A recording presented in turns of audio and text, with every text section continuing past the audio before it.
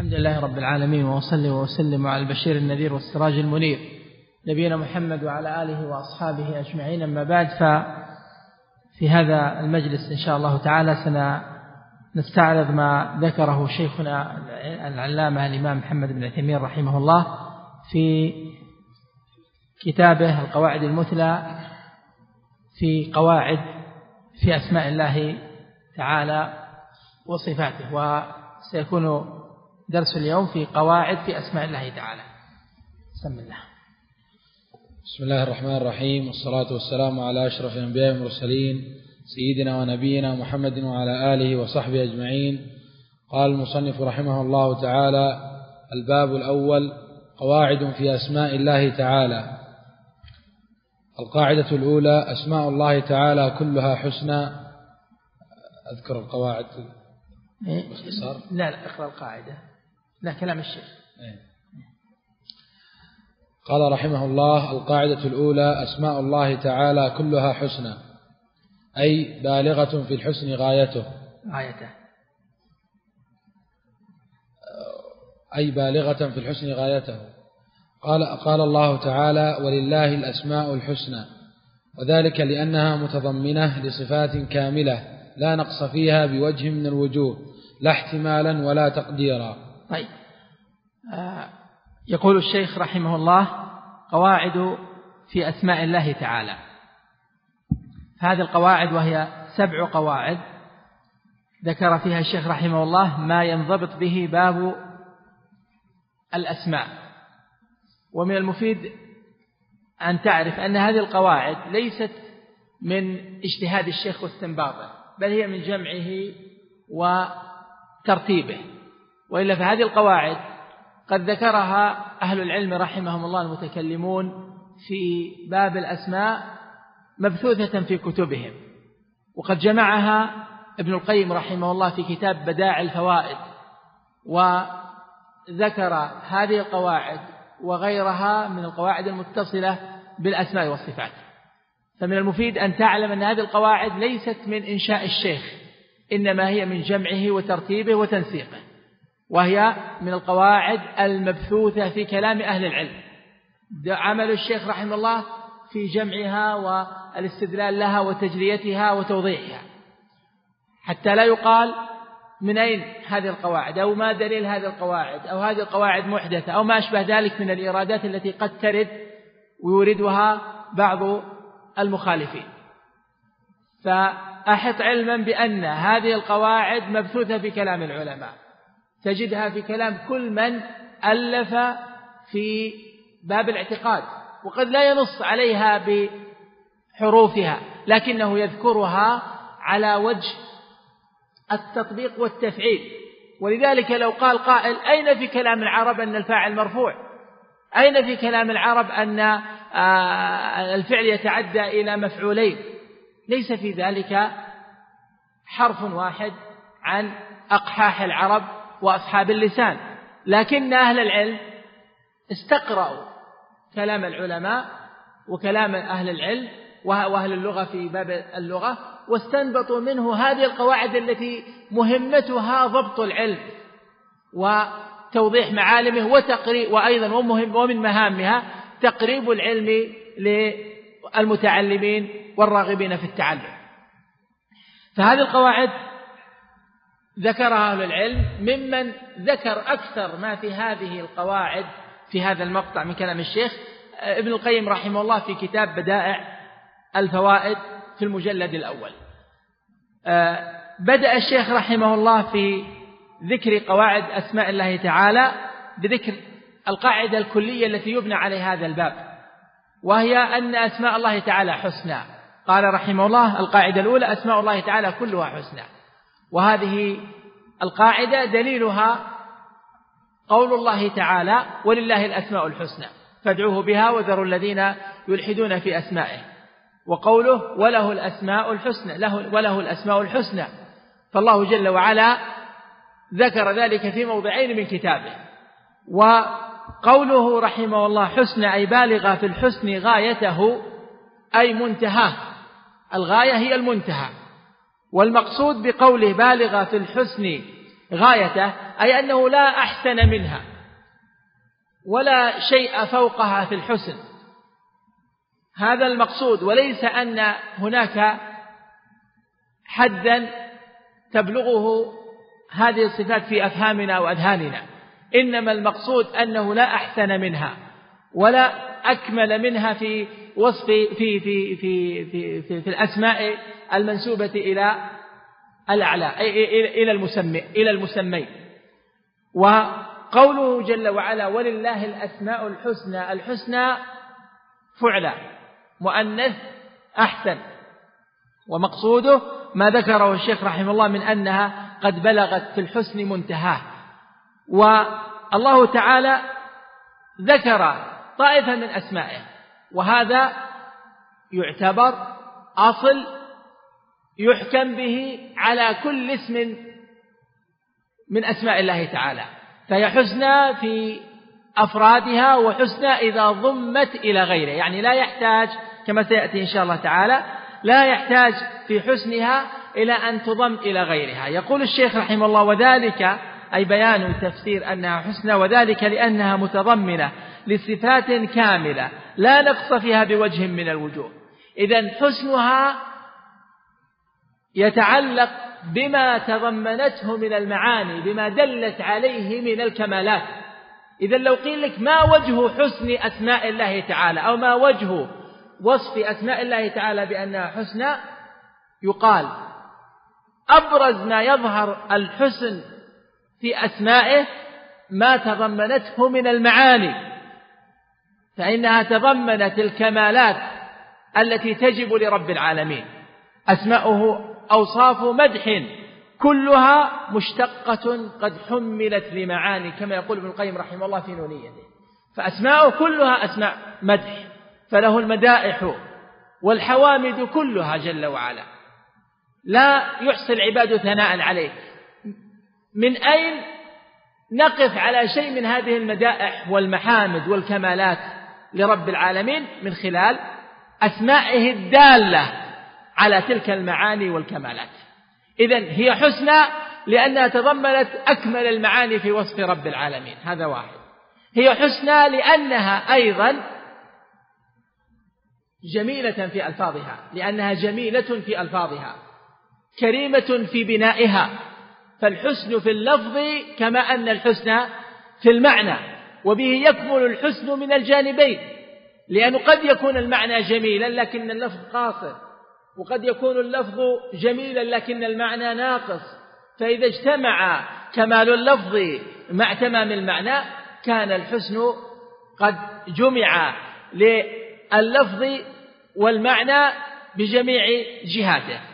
يقول رحمه الله لا نقص فيها بوجه من الوجوه ثم قال لا احتمالا ولا تقديرا قوله لا احتمالا الاحتمال في دلالة اللفظ والتقدير بالنسبة للأذهان يعني لا نقص فيها من حيث لفظها ومن حيث معناها وأيضا لا نقص فيها من حيث ما تتخيله الأذهان وتفرضه العقول فهي كاملة من كل وجه وهذا أمر قد أجمع عليه أهل الإسلام. ودل عليه الكتاب والسنة لا خلاف بين سلف الأمة في أن أسماءه جل وعلا حسنى. اضبط هذا هذه القاعدة وهذا الأصل لتحكم به على كل اسم يرد عليك فكل اسم يمكن أن تطبق عليه هذه القاعدة لتنظر هل هو من الأسماء الحسنى أو لا. فلو قال قائل من أسماء الله تعالى المنتقم قيل له توقف. لأن الله تعالى قال ولله الأسماء الحسنى والمنتقم لا يجمع الحسن من كل وجه هو حسن في موضع لكنه ليس حسنا مطلقا أو ليس من الحسنى مطلقا فلذلك لابد من التروي فيما نثبت وأن نعلم أن الله تعالى قد ذكر جملة في سورة الحشر ثم قال ولله الأسماء الحسنى أوله الأسماء الحسنى فينبغي لنا أن نطبق هذا الضابط أو هذه القاعدة أو هذا الأصل على كل ما ينسب من أسماء على كل ما ينسب من الأسماء لله جل وعلا. لأنه الذي لا يأتيه الباطل قاعدة لا تأتيها لا يأتيها الباطل من بين يديها ولا من خلفها فهي كلام رب العالمين في محكم القرآن والتنزيل. بعد هذا التأصيل ذكر الشيخ رحمه الله جملة من الأمثلة. نحن نكتفي بمثال. حتى نتمكن من المرور على هذه القواعد كلها. نعم. قال رحمه الله مثال ذلك الحي. اسم من أسماء الله تعالى متضمن للحياة الكاملة التي لم تسبق بعدم ولا يلحقها زوال. الحياة المستلزمة لكمال الصفات من العلم والقدرة والسمع والبصر وغيرها. نعم. هذا المثال واضح. فالحي من أسماء الله تعالى لا الله لا إله إلا هو الحي القيوم. وتوكل على الحي الذي لا يموت. فثبوت هذا الاسم في الكتاب وثبوته أيضا بالسنة وأجمع عليه كافة أهل الإسلام. لا خلاف بينهم في أن الله تعالى حي. ثم قال الشيخ رحمه الله في هذا الاسم اسم من أسماء الله تعالى. وجه كونه من الأسماء الحسنى قال متضمن للحياة الكاملة التي لم تسبق بعدم فهو الأول الذي ليس قبله شيء. ولا يلحقها زوال فهو الآخر الذي ليس بعده شيء. الحياة المستلزمة هذا من حيث أصل الصفة.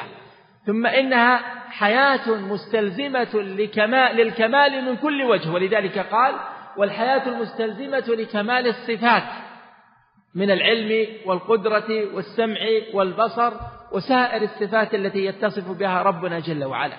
فهو حي وهي وكمال حياته يستلزم كمال علمه كمال قدرته كمال سمعه كمال بصره كمال كل الصفات التي تتصل بالحياة.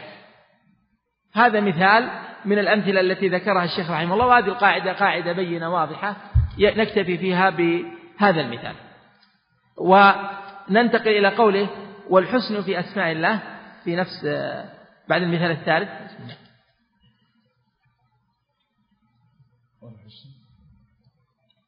نعم. قال رحمه الله والحسن في أسماء الله تعالى يكون باعتبار كل اسم على انفراده ويكون باعتبار جمعه إلى غيره فيحصل بجمع الاسم إلى الآخر كمال فوق كمال. يشير الشيخ رحمه الله إلى أن الحسن لا يقتصر على الاسم نفسه.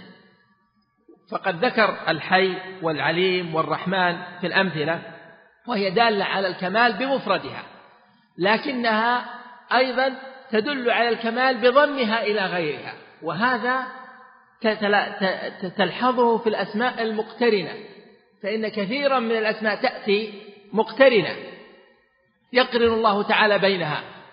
ومثل الشيخ رحمه الله في كلامه وكذلك رسول الله صلى الله عليه وسلم يقرن بينها في قوله فهذا الاقتران به تكمل تلك الأسماء فهي كاملة على وجه الانفراد وكاملة بضمها إلى غيرها. فهذا معنى قولي والحسن في أسماء الله تعالى يكون باعتبار كل اسم على انفراده كما مثل في ما تقدم ويكون باعتبار جمعه إلى غيره فيحصل بجمع الاسم إلى الآخر. كمال فوق كمال. ومن ذلك الأول الآخر الظاهر الباطن. فإن كمال كل اسم ثابت بمعناه الذي دل عليه. لكنه يكمل ويزداد حسنا وبهاء بضمه إلى غيره حيث يكتمل الحسن في أسمائه جل وعلا. يقول رحمه الله مثال ذلك العزيز الحكيم. فإن الله قال رحمه الله مثال ذلك العزيز الحكيم. فإن الله تعالى يجمع بينهما في القرآن كثيرا فيكون كل منهما دالا على الكمال الخاص الذي يقتضيه وهو العزة في العزيز والحكم في والحكمة في الحكيم. والحكم والحكمة. والحكم والحكمة في الحكيم.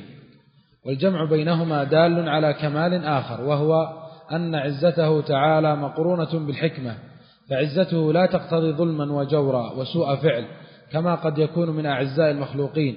فإن العزيز منهم قد تأخذه العزة بالإثم فيظلم ويجور ويسيء التصرف. وكذلك حكمه تعالى وحكمته مقرونان بالعز الكامل بخلاف حكم المخلوق وحكمته فإنهما يعتريهما الذل. هذا واضح. فالعزيز دال على العزة وهي صفة كمال لرب العالمين تدل على بديع ما اتصف به الرب جل وعلا.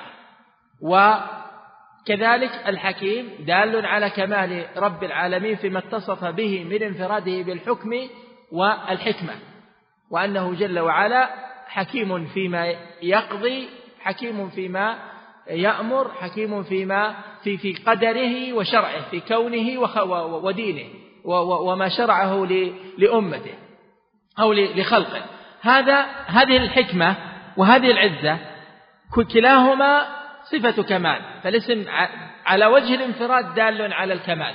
لكن إذا اقترن دل على كمال زائد وحسن فائق ولذلك يقول رحمه الله في بيان الكمال باقتران هذين الاسمين واجتماعهما قال والجمع بينهما دال على كمال آخر وهو أن عزته تعالى مقرونة بالحكمة فعزته لا تقتضي ظلما وجورا وسوءا.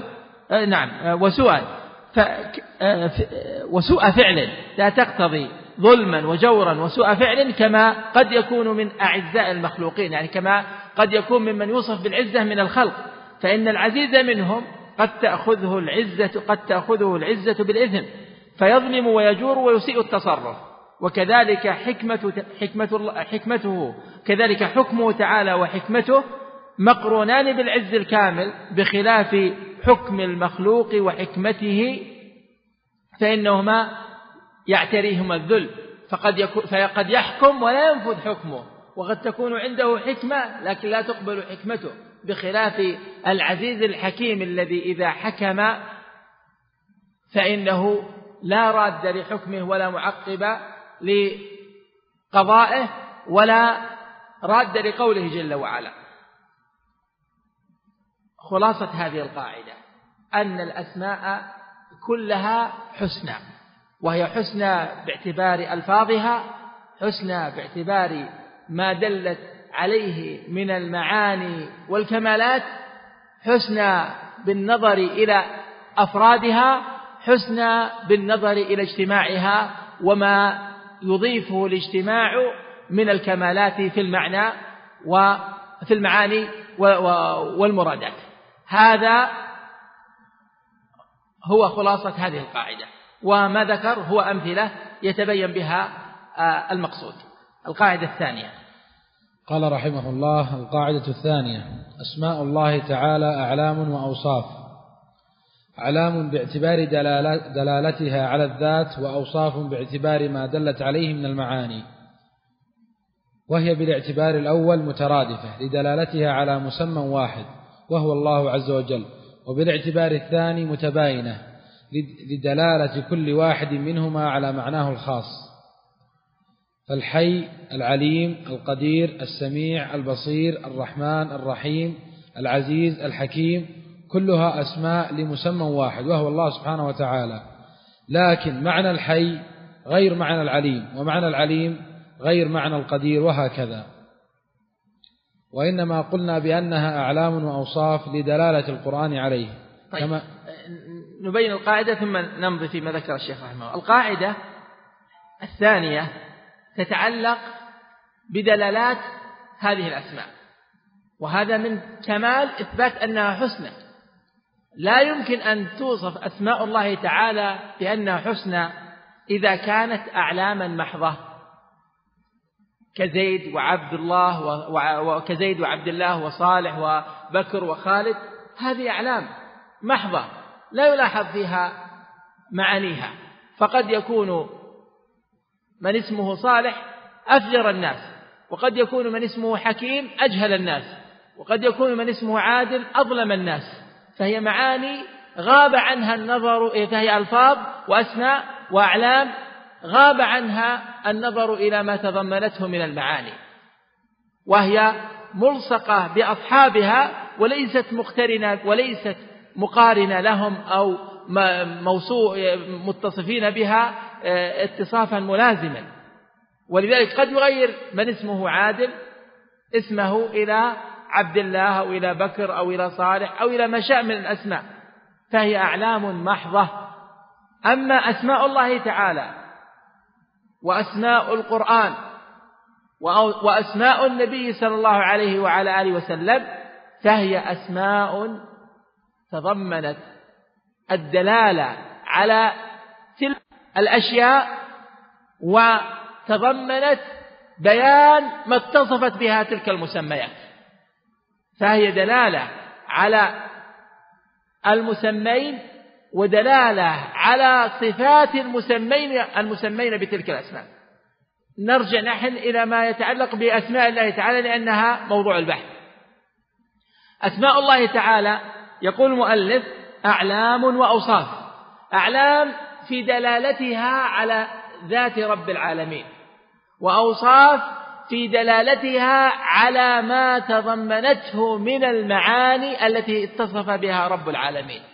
فالرحمن اسم يدل على الله تعالى على ذاته وهو من حيث الدلالة على الذات علم وهو دال على اتصاف ربنا بكمال الرحمة لأن الرحمن فعلان وهي صيغة مبالغة تدل على الامتلاء والاكتمال في المعنى.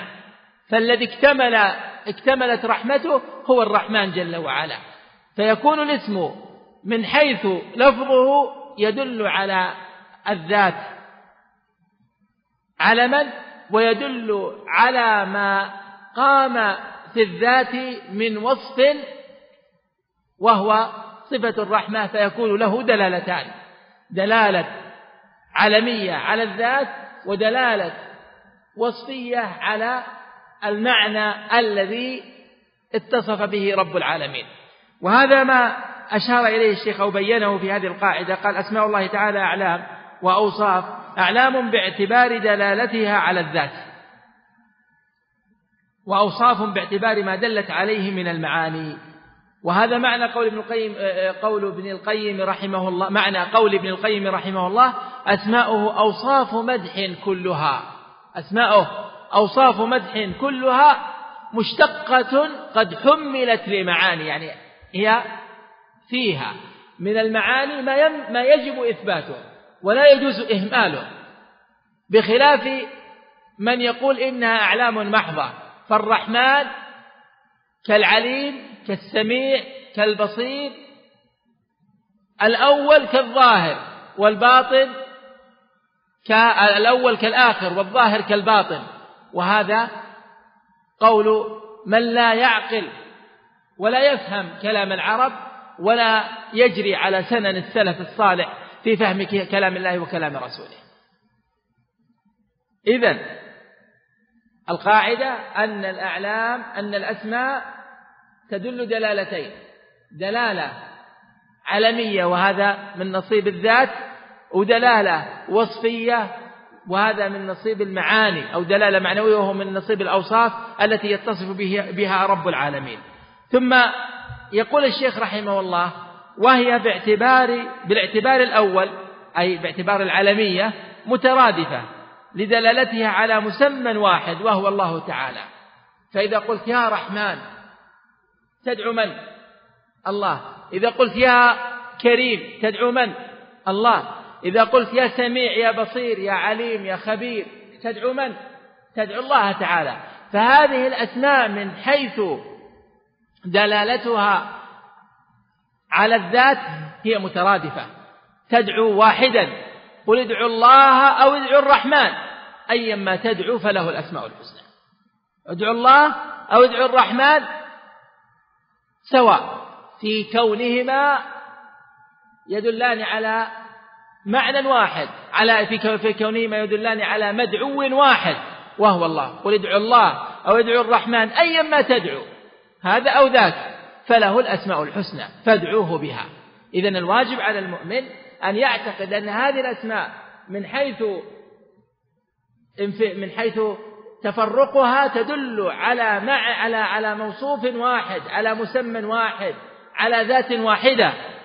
وأما من حيث ما تضمنته من المعاني فهي مختلفة وليست مترادفة. دلالة الأسماء على الذات مترادفة ودلالتها على المعاني متباينة. يقول رحمه الله وبالاعتبار الثاني متباينة أي مختلفة. ولا يعني أنها لا تتفق أو لا تشترك في في في في, في معاني لا. يعني السميع والعليم من حيث دلالة الالتزام كلاهما يدلان على أن الموصوف بالسمع والعلم حي أو ميت.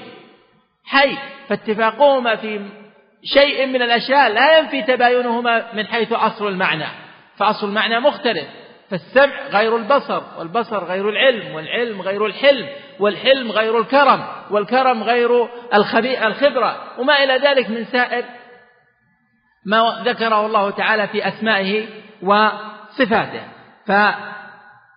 فالنظر الثاني باعتبار دلالتها على المعاني هي متباينة. يقول كل واحد منها آه، كل كل واحد منها على معناه الخاص فالحي العليم القدير السميع البصير الرحمن الرحيم العزيز الحكيم يقول كلها أسماء لمسمى واحد في دلالتها على الذات.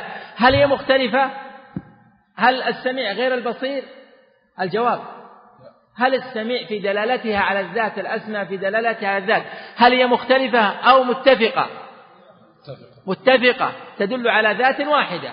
في دلالتها على المعاني مختلفة ولذلك متباينة. ولذلك يقول كلها أسماء لمسمى واحد وهو الله سبحانه وتعالى. لكن معنى الحي غير غير معنى العليم ومعنى العليم غير معنى القدير وهكذا. والله تعالى. أحسن الله عليكم. جزاكم الله خيرا.